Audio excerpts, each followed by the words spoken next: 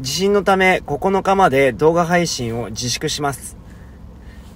えー、今回の地震でたくさんの心配の DM やメッセージ本当にありがとうございます。僕の方は大丈夫なんですけども、えー、動画を撮るその余裕がとてもない状態です。お家の片付けであったりとか、やっぱり身内の安否確認、いろいろありまして、とても動画を撮る場合じゃないなと判断いたしました。で、まあ撮影する日程が9日なので、9日以降に動画の方を配信できたらなと思ってます。えー、昨日の地震は本当にすごかったです。ビルがもうこんな感じで揺れてたので、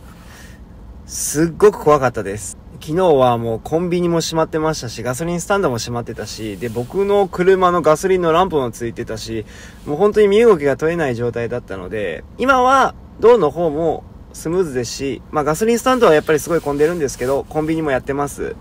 で、ご飯も食べれるし、ちょっと能登の方はね、もっとひどいんですけど、こちら金沢だったので、まだ大丈夫でした。やっぱり余震もありますので、ちょっと動画の方は撮影できないなと判断したので、9日までお休みさせていただきたいなと思ってます。本当に最悪の年末年始でした。皆さんお気をつけください。失礼します。